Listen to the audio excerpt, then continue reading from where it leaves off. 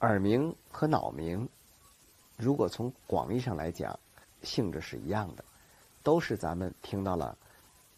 一种所谓的声音，本来没有这种声源被人听到的声音，它的性质是一样的，也有它的频率，也有它的响度，也有它的方向性。但是如果从狭义上来讲呢，它又是有区别的。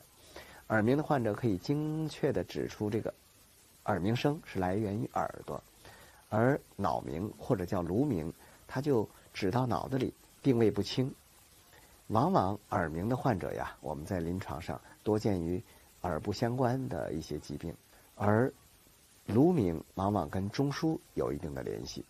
所以患者问这个问题的时候是很好的，他可以很好的把颅鸣和耳鸣分离开。